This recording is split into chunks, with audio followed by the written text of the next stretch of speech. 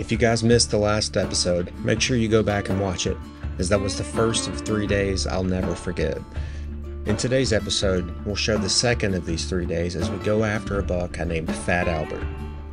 We've had this buck in the area since last year. I went after him several times during bow season, but unfortunately I was never able to get the timing right on him. Let's jump on in because today's episode finally closes the chapter on Fat Albert.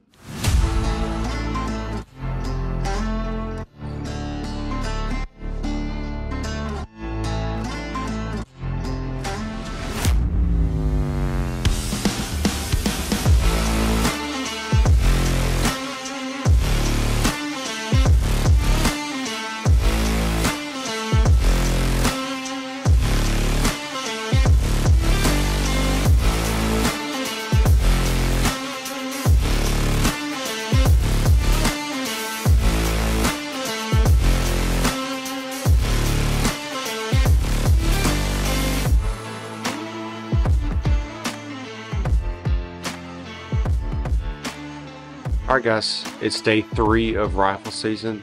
I'm super tired, even though I did get pretty good sleep last night. Tyler's on his way out here now. I'm gonna go set back up in the same spot where I shot the buck yesterday. There's another deer out there that we named Fat Albert. We started getting pictures of. Um, I have a few pictures of him last year, but his rack wasn't that great. This year, he's a pretty good deer.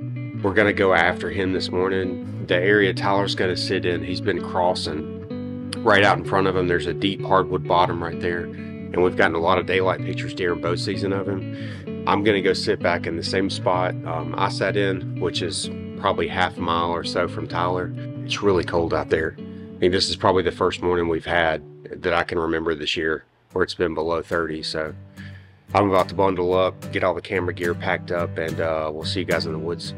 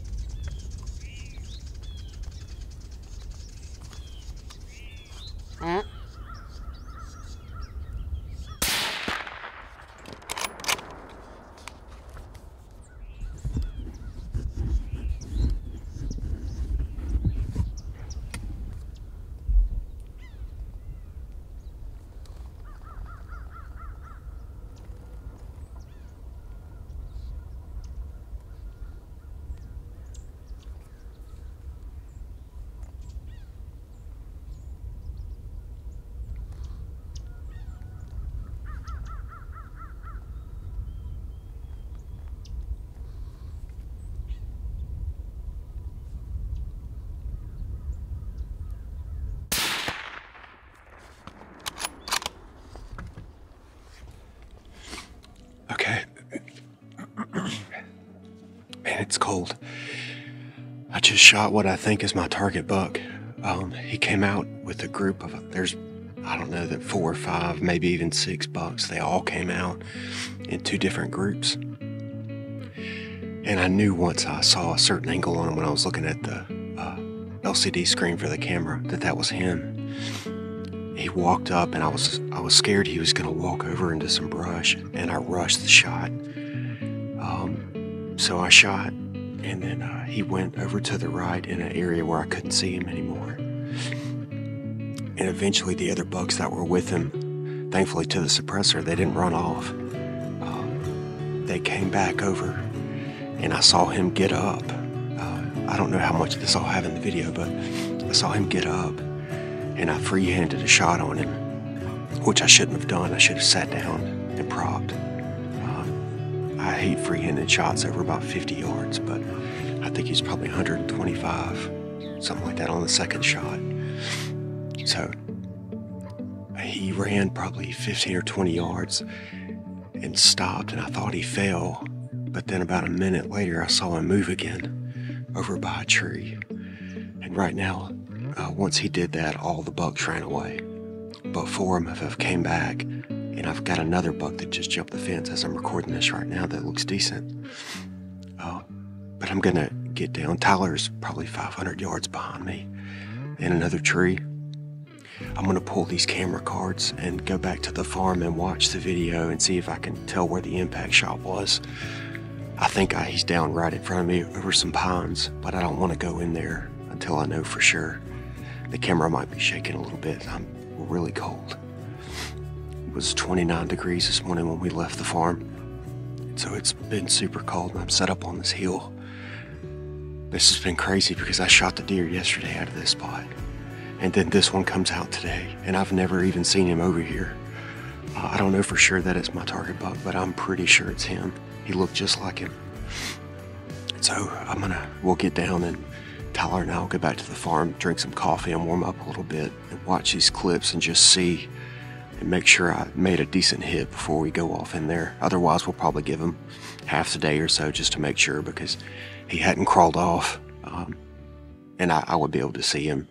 And these other bucks are still out here right now, and they're just staring over there where he was. So I'm gonna try to ease out of here without bumping all these deer out and go watch the recording. Okay, I just got back to the farm. I called Tyler after I shot, and Tyler wanted to continue to sit. So I came back by myself just to run through these clips um, and figure out if I made a decent shot, at least on that first shot. So I'm going to watch these and uh, decide if we're going to give him half the day or if we're going to go ahead and go get him. Well, this is definitely the frustrating part about self filming. I was 100% certain I got that shot on the camera but I didn't. Um, ah, so frustrating. It's really difficult to try and self film bow hunting, but sometimes rifle hunting's even worse because you try and zoom in on the deer and then get set up and then the deer's walking. That's why I tried to make that little kind of grunt call to get him to stop, and I thought he was in frame. But unfortunately, I guess when I looked over to see that he was in frame, it was a different deer. Um, so I can't see where I actually shot him. I know there was blood coming out of his mouth um, before I saw, shot him the second time. Oh, man. So I think the second shot was actually a good hit. Unfortunately, the uh, autofocus was on the tree in front of him. This has been this frustrating video session for me because usually I do a, a fairly decent job of keeping the deer in focus.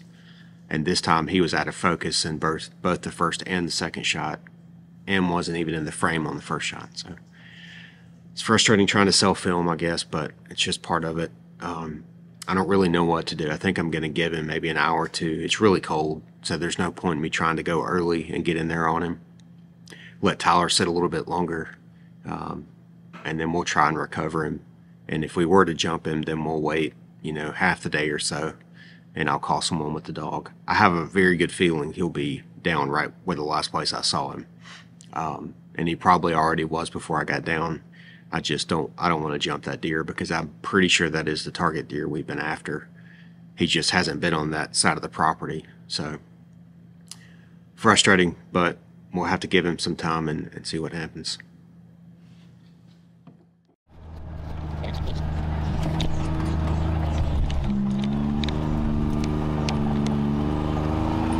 Stick with us. About to go find a hopefully not wounded deer. Yeah, I really don't want to jump a deer and track through the bushes for multiple hours. So, He'll be down. he'll be down.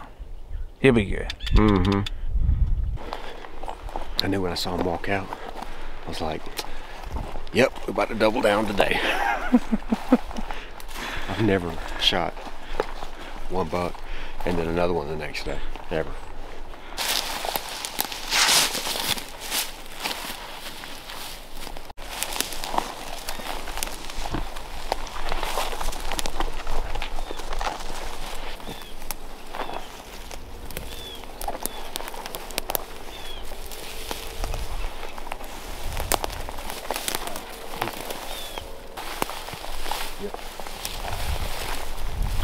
See him, but there's vultures there.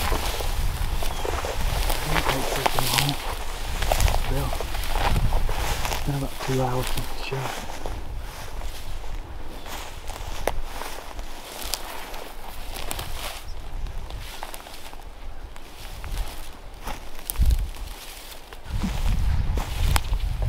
He's right there.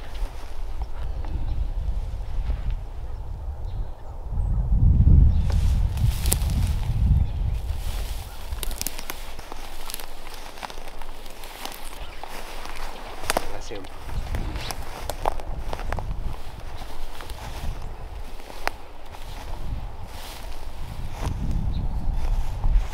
He is fat. He is fat. Huh? He is fat.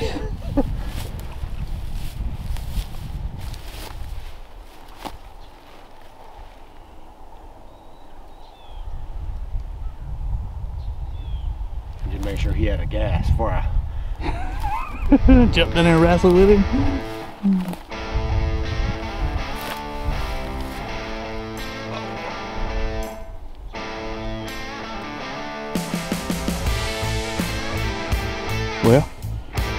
What you say for yourself there? Is that a good one?